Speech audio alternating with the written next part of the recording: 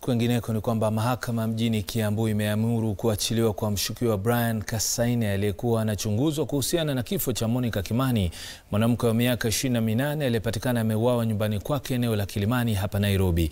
Hakimu mkuu katika mahakama hiyo Justus Kituku amemwamuru Kasaine kujiwasilisha mwenyewe katika makao makuu ya DCI kila siku ya Alhamisi kwa muda wa miezi miwili ijayo. Kasaine ambaye amekuwa kizuizini kwa muda wa siku kumi pia ameagizwa kuwasilisha stakabadhi zake za usafiri. Mahakama imekosa ushahidi wa kutosha unaoashiri kuwa uh, alihusika katika mauaji ya Monica Kimani na badala yake atatumika kama shahidi katika kesi hiyo. Haya yanajiri huku mwanahabari wa Citizen Jackie Maribe na mshukiwa mkuu wa mauaji hayo Joseph Irungu wakisubiri kuwasilishwa mahakamani tena siku ya Jumatatu.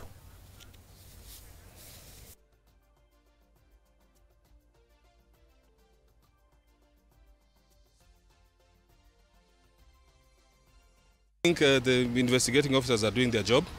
Uh, thank my family uh, for being with me throughout this time. So, yeah, I'm just hoping that, you know, uh, still it's an ongoing investigation, so I can't really comment much on that. So, yeah, just hoping that, you know, things go well. I get to clear my name.